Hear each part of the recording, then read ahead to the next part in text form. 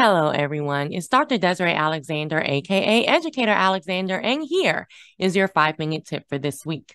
So, we are looking at Microsoft Excel, and when I download something from my email or from the internet, and I open it up and I just start typing, I get this little enable editing, and I'm like, ah, and then I have to click the button. First world problems, right?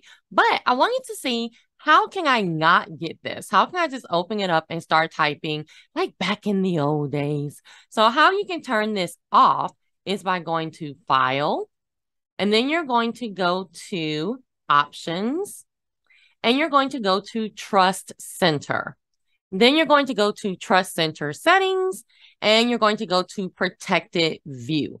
So right here is where you can turn it off. Now do read this notice is that protected view is there to help potentially dangerous files from just automatically opening. So that's why they have that there. So you can say, yep, this is the file I was looking for. Yes, enable editing versus it not and it just popping up. So do read this little, you know, blurb about the protection, but this is where you can come if you uncheck this, click OK, open up that file again, you will not see that enable edit button. So just in case you want to turn that off, there you go.